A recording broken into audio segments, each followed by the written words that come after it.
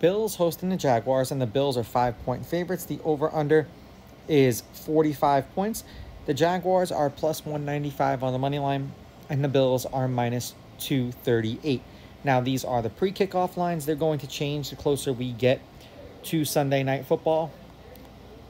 It'll be, or is this Monday night? Forgive me, Monday night football. There's two Monday night games this week. It's supposed to be 64 degrees with 25% chance of rains and 5 mile an hour winds. Now, head to head, the Jaguars are 6 and 4. The Jaguars are on a two game winning streak. The home team is 7 and 3. The underdog has covered the last six games that they've played against each other. The underdog is 8 and 2 against the spread. The underdog has won the last three games they've played against each other outright.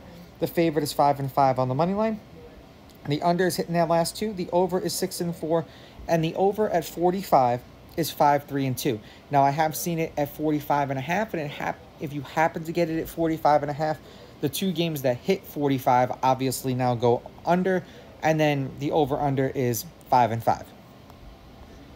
The Jaguars are 0 and 2, 37 points, 31 points, three, uh, 17 points in a loss, 13 points in a loss. For the Bills, they're 2 and 0 there was a total of 62 points and 41 points. 34 points in a win, 31 points in a win.